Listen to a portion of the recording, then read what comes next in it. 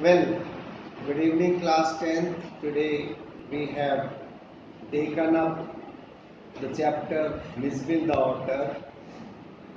The author lives in Scotland and his dog dies.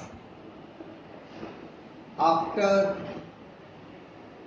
his dog's death, he decides not to have a pet, but then later on it becomes very difficult to live without a pet. Let's read the lesson and find out what the author does.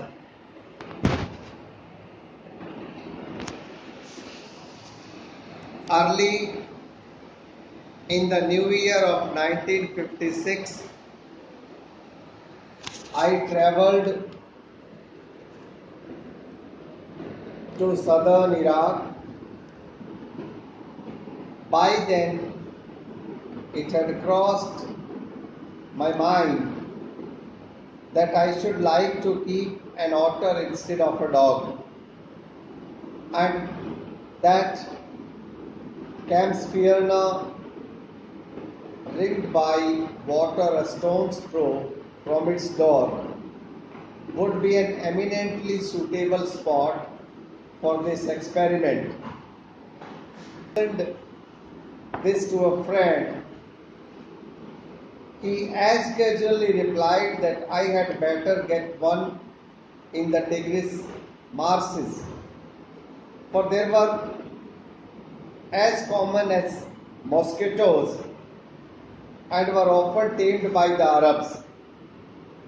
We were going to Basra to Consulate General to collect and answer our mail from Europe. At the Consulate General, we found that friend's mail had arrived, but that mine had not.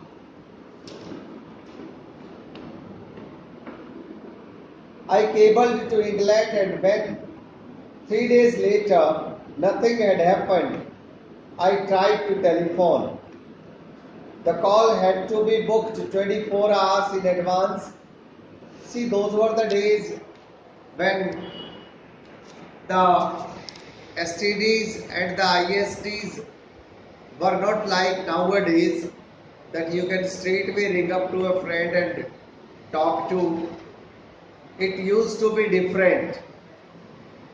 When we initially joined the service, we wrote every week and it used to be a routine getting letters from friends and from family members. And in fact we used to be we used to be honestly waiting eagerly for the letters. Nowadays it has become very easy for all of us to talk to our friends whenever we wish to on the telephones. But that was the time even if we wanted to talk to our friends on telephone, we had to book a call in advance and sometimes it took two to three days. Those were the days. So, the author is talking about those days. So, on the first day, the author says, on the first day, the line was out of order. On the second day, the exchange was closed for a religious holiday. On the third day, there was another breakdown. My friend left. I arranged to meet him in a week's time. Five days later, my mail arrived. I carried it to my bedroom to read, and there, squatting on the floor, were two Arabs. Beside them lay a sack of skimmed from time to time. They handed me a note from my friend. Here is your order. With the opening of that sack began a phase of my life that has not yet ended and may, for all I know, not end before I do. It is in effect a thraldom to otters, an otter fixation that I have since found to be shared by most other people who have ever owned one. The creature that emerged from this sack onto the spacious tiled floor of the consulate bedroom resembled most of all a very small, medievally conceived dragon. From the head to tip of the tail, he was coated with symmetrical pointed scales of mud armor, between whose tips was visible a soft velvet fur like that of a chocolate brown mole. He shook himself. I half expected a cloud of dust, but in fact, it was not for another month that I managed to remove the last of the mud and see the otter, as it were, in its true colors. Miss Mijbil, as I called the otter, was in fact of a race of previously known to science and was at length christened by zoologist Lutro Gale perspicillata Maxwell Maxwelli. See, the name was given on Maxwell's name. He was a zoologist, and instead of saying this, people call it Maxwell's otter. So, the author says, for the first 24 hours, Misbil was neither hostile nor friendly. He was simply aloof and indifferent. Aloof and indifferent. Choosing to sleep on the floor as far as from my head, from my bed as possible. The second night, Miss Bill came onto my bed in small hours and remained asleep in the crook of my knees until the servant brought tea in the morning. And during the day, he began to lose his apathy and take a keen, much too keen interest in his surroundings.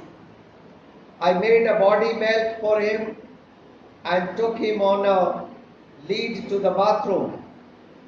Took him on a lead. Taking on a lead means showing the way. So, for the first time, it needed to show the way. So, the author took him on a lead to the bathroom where for an hour he went wild with joy in the water, plunging and rolling in it, shooting up and down the length of the bathtub underwater and making enough slosh and splash for a hippo. This I was to learn is a characteristic of waters. Every drop of water must be, so as to speak, extended and spread about the place, and a bowl must at once be overturned, or if it will not be overturned, be set in and splashed in until it overflows. Water must be kept on the move and made to do things when static.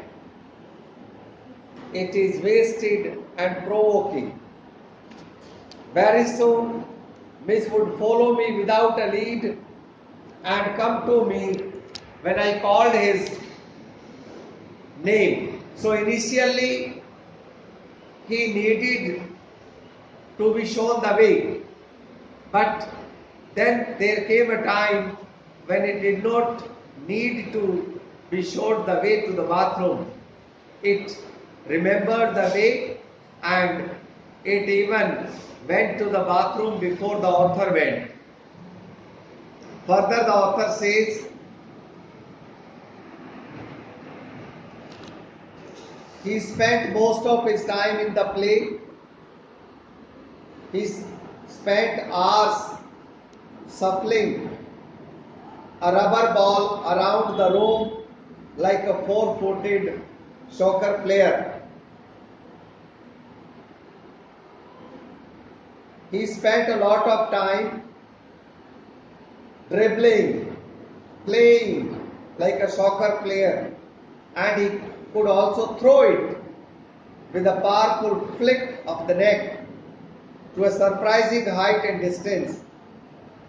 But the real play of an otter is when he lies on his back and juggles with small objects between his paws. Marbles were Miss' favorite toys for his pastime.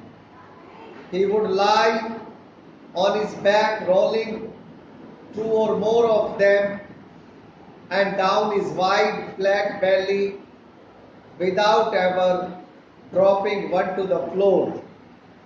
We will continue this lesson further tomorrow, but till then, I am giving you an exercise which you have to answer. You have to answer my question within the next 15 minutes. So I am sending you the questions for which you will have to answer. Thanks for joining.